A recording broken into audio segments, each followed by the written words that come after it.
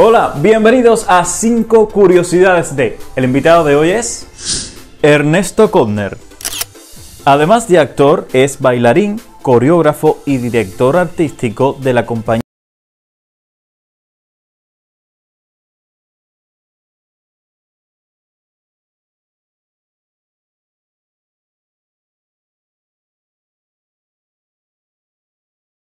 favorito es arroz blanco, huevo blandito para explotar la yema y rociarla en el arroz y platanito fruta.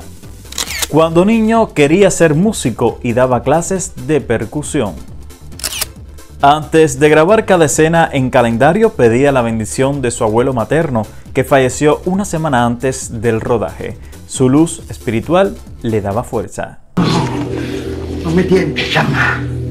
No me tientes, estoy intentando resolver las cosas de la mejor manera. ¿Mm?